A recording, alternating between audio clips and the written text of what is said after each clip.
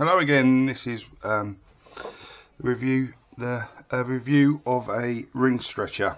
Not a good one. Um, got this for Christmas actually from my partner. Um, it was about fifty-five pounds plus delivery, which is you know good a good price if it worked.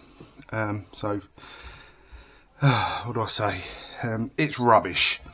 Basically, stay well away from it I put the first ring on. This cap was down.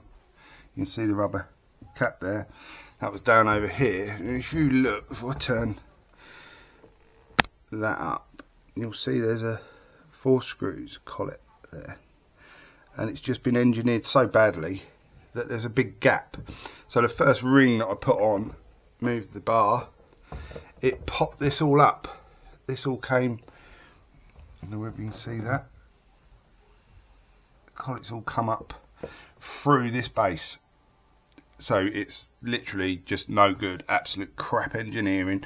I don't understand why, because my God, how hard can it be? I mean, I know these things from China are um, cheap, obviously. Well, not cheap to me, because £50, £50 at the end of the day. I don't think um, it's that bloody cheap. It's a bit of steel with an handle.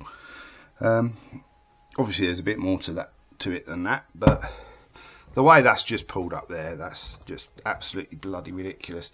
And I do notice as well I know this camp light isn't brilliant on here. Let me pull my light down a bit. Right so you can see that's pulled right up straight through this this collar here. The other thing is when it does go back because that's as back as far as it goes.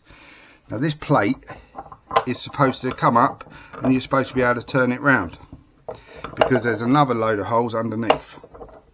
Um, this one doesn't. So you can't even get that out to turn it round. And I do realise that you know you buy the cheaper stuff and you expect um, you expect to lose a bit of the quality of the item. I realise that but it still has to be fit for use. I mean, Jesus Christ, it's ridiculous. Um, uh, it's upset my missus because it was a little little extra present for me. You can see there, look, see the difference in there? I don't know if you can see that. See the difference, one's up and one's down. Um, it's such a shame because it looks, when you get it out of the box, it looks like a great tool. So but unfortunately it isn't. Duke is made made in Italy, so not in China then. It's absolute rubbish. So just stay away from them. Pay the little bit extra. I think there's another one at around 80, 80, 90 pounds that you can get that looks that's just different. It's uh, the metal on the top here is different and and even in the pictures you can see that it's a nice tight fit around this collar here. And that's what you want. And obviously they the good ones don't have these stupid rubber things that sit over to hide the fact it's shit steel. I mean this this steel really i I'm actually tempted to take it apart and bite it because I think you could bite through that steel with your teeth.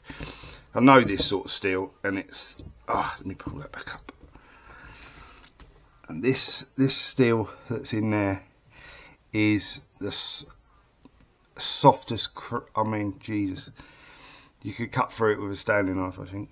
Um, I just wanted to share that because it's alright doing these reviews but sometimes you got to be you got to do them on the bad not just the good. And I've had some great stuff recently from China that's been really good and it's, it's worked well. And obviously this one's from Italy and it is a bag of crap. Stay away from it. Okay that's it really. Just a quickie. Again hopefully my videos will start getting better at some point. Once I get a bit more confidence and it's not easy for, um, oh god I, am in, in awe of some of the people and the confidence they've got when they're doing these things. But myself I haven't got it but I do like I do like sharing things. Um, so that's what I do um, okay thanks a lot uh, just stay away from this so remember the name, Duke, made in Italy. Stay away from it. Okay, thanks. Bye.